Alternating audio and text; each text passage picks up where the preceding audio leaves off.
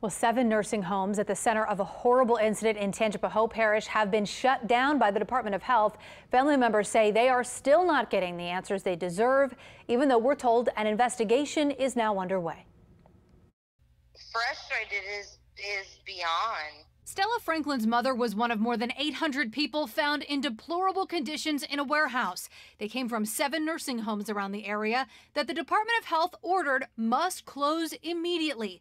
Louisiana State Health Officer Dr. Joseph Kanter said in a statement Saturday, quote, the lack of regard for these vulnerable residents' well being is an affront to human dignity. We have lost trust in these nursing homes to provide adequate care for their residents.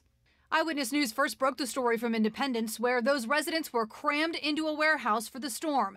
Conditions got bad fast. Photos inside show cots wedged in close and mattresses on the floor, and the building began to flood. It was trash, full of urine and feces all stacked in a corner, and the place just smelled, it smelled horrible.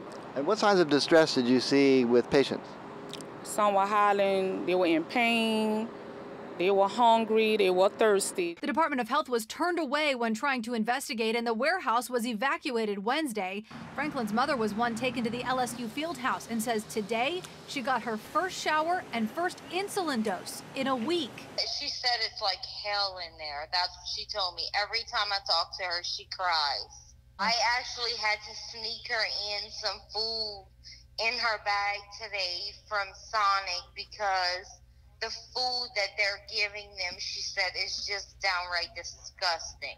And Franklin can't pick her up until her town of Galliano gets power back.